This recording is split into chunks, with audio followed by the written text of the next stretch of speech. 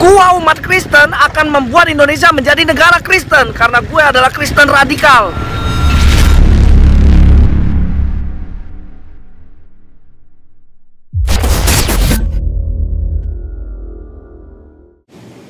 Tangkap Abdul Somad penista agama. Kayaknya abang membakar kedua foto itu. Bahaya nggak ya? Ya kayaknya bahaya deh. ya kedua foto orang itu yaitu Habib Rizik Syihab dan Ustadz Abdul Somad itu guys. Mereka adalah penista agama sudah dilaporkan bertahun-tahun, tetapi tetap saja tidak apa namanya tidak ditangkap oleh polisi karena polisi takut oleh umat mayoritas agama Islam guys. Nah, di samping itu, si Habib Rizik ini juga ingin mendirikan negara Islam di Indonesia. Dan ya, tentu saja kalau misalnya Indonesia berubah menjadi negara Islam itu artinya kelima agama yang lain itu harus masuk dan menjadi umat Islam. Tentu saja gua menolak keras uh, Indonesia menjadi negara Islam. Yo guys, gue juga pernah berdemo sendirian di depan gedung Istana Presiden, gedung Sekretariat Negara, dan gue ditodong dua pistol di situ guys. Resiko kematian gue sangatlah besar, tapi ya gue masih hidup sampai sekarang dan gue akan terus uh, melayani Tuhan gue, Yesus. Waktu itu demonya mengenai penistaan salib Ustadz Abdul Somad guys, dan sampai sekarang si UAS ini tidak ditangkap juga oleh polisi. Ya polisi tahulah sendiri. Polisi mah aduh takut. Takutan kalau polisi Indonesia mah tentu saja kalau gue meninggal pada saat berdemo sendirian itu guys gue tidak akan mendapatkan harta keluarga gue. Gue pernah buat video di YouTube itu harta orang tua gue. Gue berkeliling ke properti-properti milik orang tua gue yang harganya sekitar 100 miliar guys. Dan kakek gue itu mempunyai perusahaan mie. Itu harganya sekitar satu triliun guys. Jadi gue mengorbankan satu triliun lebih untuk mati sebagai Rasul Yesus membela salib suci Tuhan gue Yesus. Ya kan bagi gue gak ada artinya. Sebesar apa pun harta di dunia gak ada artinya bagi gue bagi gue. Yo guys kayaknya gue gak akan bertahan lama. Nyawa gue akan melayang sebentar lagi. Tetapi yang gue percaya adalah waktu akan menjawab semua pelayanan yang sudah gue lakukan. Dan gue ingin mengingatkan satu hal guys. Yesus dan kedua belas muridnya itu mati disiksa dan dibunuh atas nama demi kemanusiaan. Dan mereka dilabeli hal-hal yang jelek-jelek yaitu pembunuh, apa eh, bukan pembunuh sih maksudnya pemberontak, penista agama, dihina yang macam-macam guys mereka itu. Tapi lihat sekarang 2000 tahun setelah Yesus meninggal, uh, agama Kristen dan Katolik memiliki jumlah pengikut terbanyak di dunia.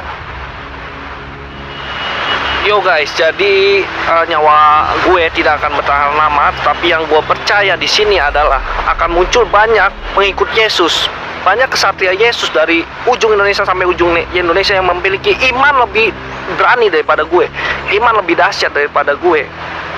Jangan takut kalian itu agama minoritas. Kita agama minoritas di Indonesia. Yesus dan hanya mempunyai 12 murid. Itu sedikit jumlahnya tapi mereka bisa mengubah dunia, guys. Jadi jangan takut kita ini agama minoritas di Indonesia tetapi kita harus bersuara lantang menolak pendirian negara Islam di Indonesia. Karena kalau misalnya Indonesia menjadi negara Islam, tentu saja iman kita kepada salib Yesus itu akan berganti.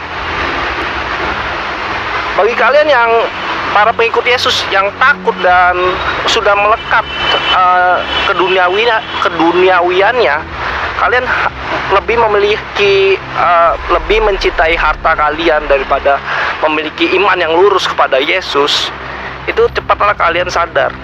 Cepatlah sadar dan ya walaupun gue cuma sendirian kalian takut kalian gak mau membela Tuhan kalian. Kalian gak berani menentang pendirian negara Islam di Indonesia. Biar biarin gue sendirian yang yang menentang pendirian negara Islam ini. Dan gue percaya akan setelah kematian gue akan banyak bermunculan para pengikut Yesus para kesatria salib dari uh, ujung Indonesia sampai ujung Indonesia lainnya well the day is come man and uh, kalau misalnya kalian para pengikut Yesus pendeta pastor hanya berdiam diri ya bentar lagi ya Indonesia akan menjadi negara Islam. Lihat poster-poster di pinggir jalan, itu pemulangan Habib Rizik. Itu kalau dia pulang Indonesia akan menjadi negara Islam, guys. Dan tentu saja gue ini cuma anggota jemaat di GKI Jakarta dan guru gue GKI di Cirebon gitu. Walaupun gue cuma jemaat, gue cuma anggota. Ya ini merupakan video peringatan aja kepada kalian para pendeta ataupun pastor atau dan untuk para pengikut Yesus lainnya. Ya karena gue gak mau iman gue terganti. Gue walaupun gue disiksa, gue dibunuh, gue tetap akan bertahan dengan agama gue. Tetap memilih iman mempercayai salib suci Tuhan gue Yesus. Yo guys jadi segitu aja video kali ini dan ini video peringatan. Setiap pengikut Yesus wajib menge-share ayat-ayat di Alkitab. Mereka memiliki tugas itu sebagai pengikut Yesus dan gue juga memiliki tugas itu. Dan gue ingin nge-share satu ayat di sini yaitu seperti kata Paulus murid Yesus hidup untuk Kristus mati adalah keuntungan ya itu yang ingin gue tekankan dan yang selalu gue percaya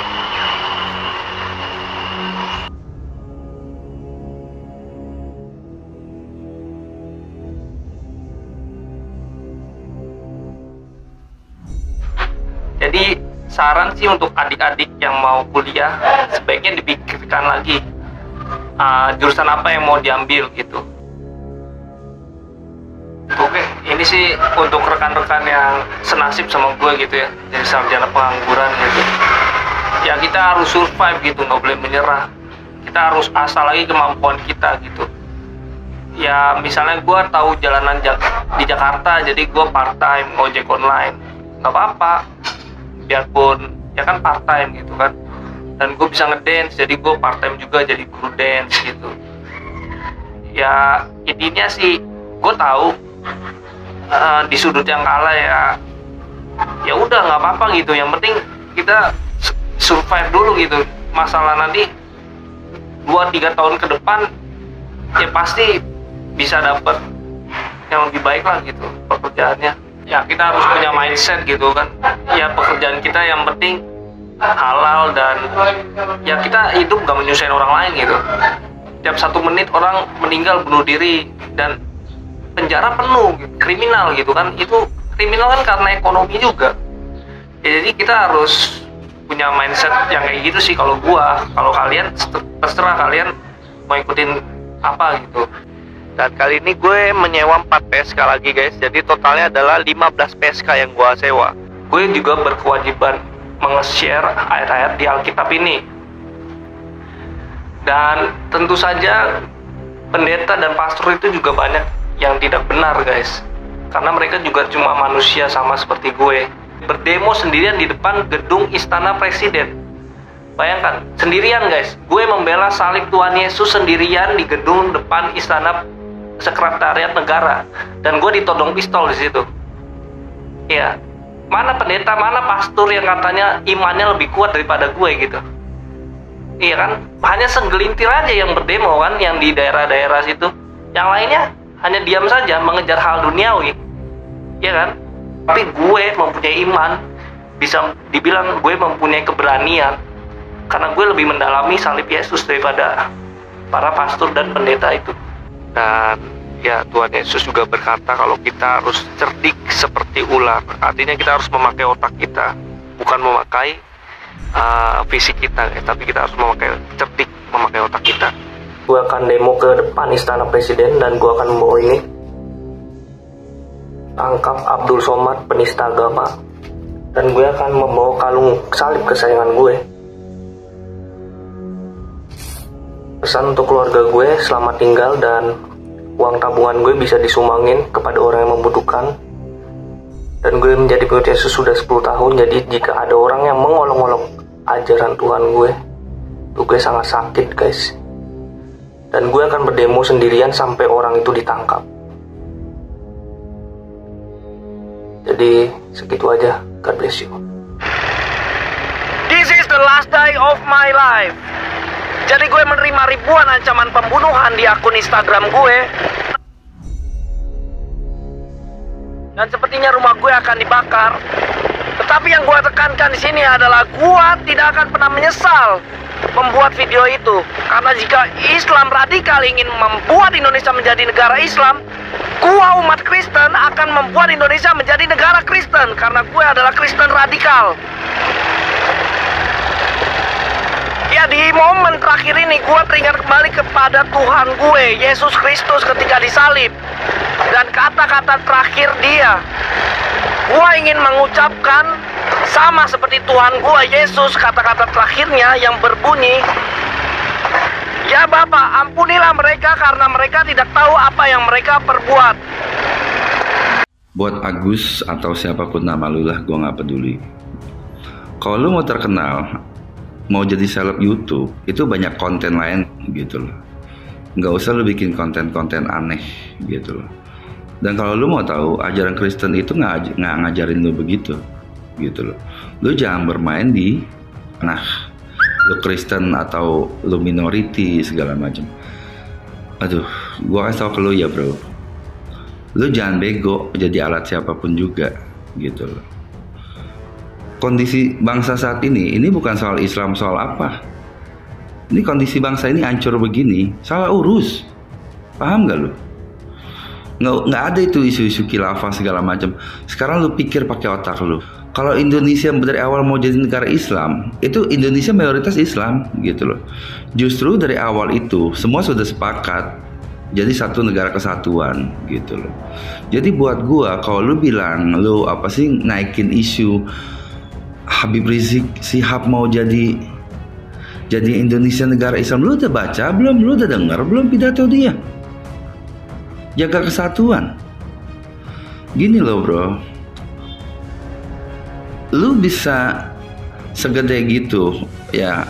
Dari kecil sampai lu segede gaban begitu lu harusnya udah terbiasa dengerin orang sholat assalamualaikum karena lu hidup di mayoritas negara Islam gitu loh. Buat gue malah aneh tiba-tiba lu nongol di apa sih di medsos ngebakar foto HRS apa urusannya? HRS itu bukan pejabat gitu loh. Harusnya kalau lu mau komplain lu komplain lu komplain. Siapa yang salah urus negara ini sampai kayak begini? Goblok kok dipiara sih lu? Gini Gus kalau lu punya waktu gua ada SMS lu. Lu jawab aja SMS gua kapan lu ngopi sama gua?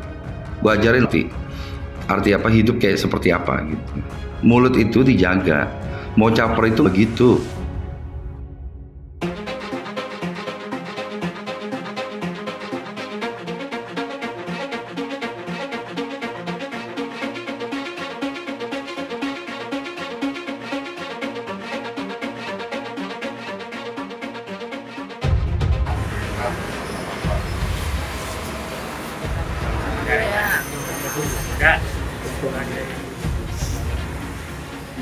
namanya si Agus apa? Jadi Agus Darmawan itu undang itu nama papanya. Iya. Jadi dipakai nama papanya itu oleh anaknya. Nah, ternyata si anaknya ini nama aslinya itu Agus Rohman. Oh, iya, betul. Agus Rohman, dia pakai nama bapaknya. Ajar.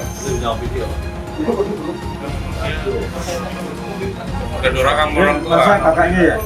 Iya, kita sekeluarga sudah bilang sama dia baik-baik. Atau bikin LP aja resmi itu ah. Jin. Kalau kita kita sama Pak Ustadz itu diarahkan bikin LP. Cuma yang saya jaga ini kan anak-anak kita. Oh iya, yang di bawah. Mereka Biar kan nanti gini tua. maksudnya Nah, biar gini om. Nah, ini kan dengan ada ke sini kan supaya jadi mau mewakili Menenangkan.